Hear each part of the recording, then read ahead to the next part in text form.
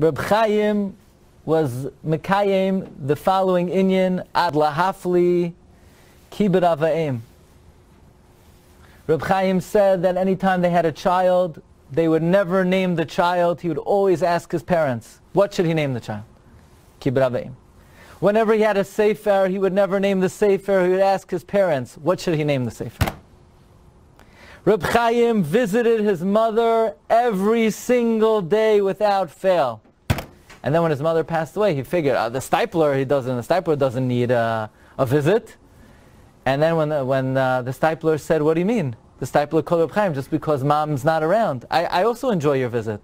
So then Reb Chaim would visit his father every single day. And by the way, when the Steipler passed away, Reb Chaim then visited his sister, who was an almana, every single day. He didn't let a day go by without visiting his sister.